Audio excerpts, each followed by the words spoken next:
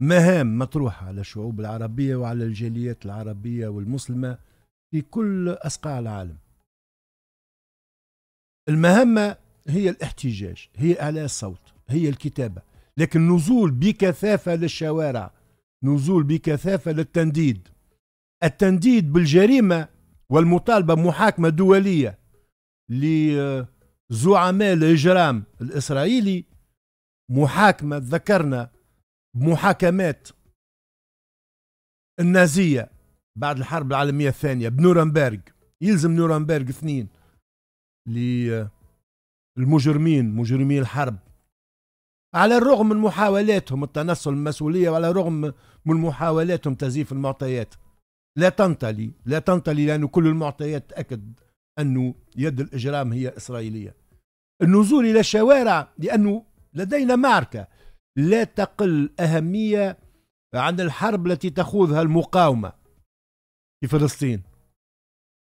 الحرب هي حرب اتصالية هي حرب أفكار هي حرب استنهاض الهمم بالنسبة لشرفاء وأحرار العالم بصفة عامة من أجل نصرة العدل.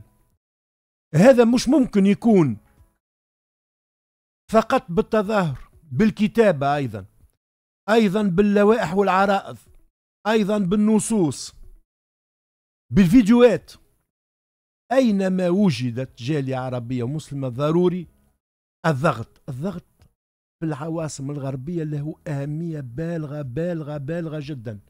لأنه الشارع في العالم الغربي كسب منذ فترة لإسرائيل وتقديم لأنه عملية الدعاية والبروباغندا واستثمار المظلومية في المحرقة. من أجل ماذا؟ من أجل ارتكاب محرقة ثانية. ضروري ضروري استثمار الرموز. الرموز أساسا أن يكون مفهوم المحرقة حاضر في الخطاب وأن يكون قيادات الجيش والقيادات السياسية الإسرائيلية في نفس مقام النازية. ضروري أن يكون هذا حاضر في الخطاب لأنه عندما نقول جريمة ضد الإنسانية البعض لا يفهم. ما معنى جريمة ضد الإنسانية؟ البعض لا يفهم خطورة وفظاعة ما تم ارتكابه. البعض لا يفهم أن السيناريو الآن يتجه نحو التنصل من المسؤولية. وهذا يجب أن لا يحصل. وهذا يجب أن يكون هنالك بالفعل تحرك حتى على الواجهة التقنية في علاقة بما الصاروخ الذي تم إطلاقه على المستشفى في غزة.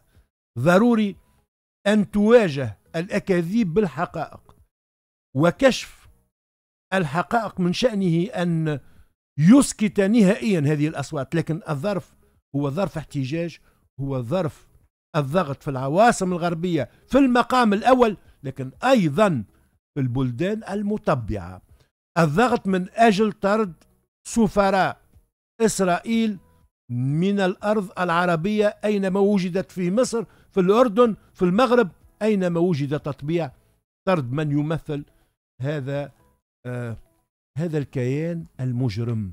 ليس ثمة نعت آخر يمكن أن ينطبق على هوية هؤلاء.